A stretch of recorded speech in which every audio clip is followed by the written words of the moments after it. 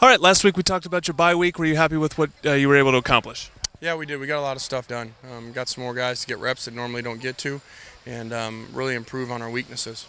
Yeah, the two things you talked about were getting healthy and maybe giving some young players a chance. Both those things, do you feel like you help your depth in those two areas? Yeah, I think so. You know, I think we're getting a little bit. Uh, we're getting some guys back. We're not back to full strength yet, but um, you know, we worked extremely hard last week. I think it's going to pay off this Thursday. Big Thursday night primetime game, ESPN. What challenges uh, come with that? Well, we've kind of done it before, even though it wasn't a Thursday, you know, at Arizona State. So hopefully, you know, we've, we've got out the kinks of it, and um, we'll be ready to play and play great in all three phases of the game.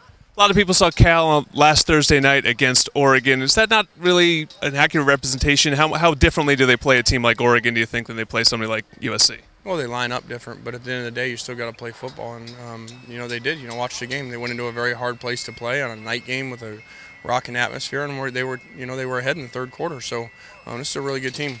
Offensively, uh, two great wide receivers. Your pass defense obviously has been under fire. What's the challenge there with, with those two guys, Keenan Allen and Marvin Jones? Well, to limit the big plays. They're great receivers, um, led by Keenan. You know, he's making every play there is. Big, strong, physical, fast. One of the best players in the country. So we're gonna have our hands full.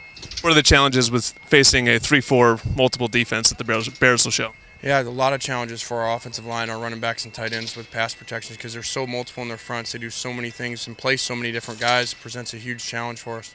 The stadium is a converted baseball stadium for the Emerald Bowl. There was one sideline, but I'm told that there's two sidelines. Are there any other logistical problems that you know about going into this? No, you know we're not worried about the field or the setup. This is all about us playing well. Coach Tedford has really had an impact on you over the years. Talk about your relationship with him and you know, what it's like to battle against him.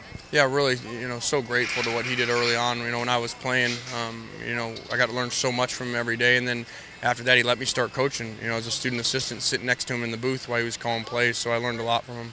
And your father said he's back to calling plays. You, you see that in their offense? He actually said uh, he wished he hadn't gone back to calling plays because he really feels like they got him back on track. Well, yeah, I know he's done a great job, and once again, they're right back up there. You know, moving the ball, bunch of yards, bunch of points. You know, like like usual when he's when he's running the show.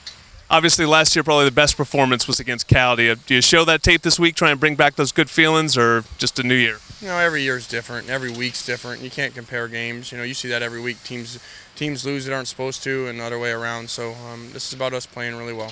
After a long layoff, you think this team is primed and, and ready to get after it again? I do. I think we worked really hard. Um, you know, now we've slowed. We you know we, we've moved back a little bit on the legs with shorter practices today and tomorrow, and so I think we'll come out flying.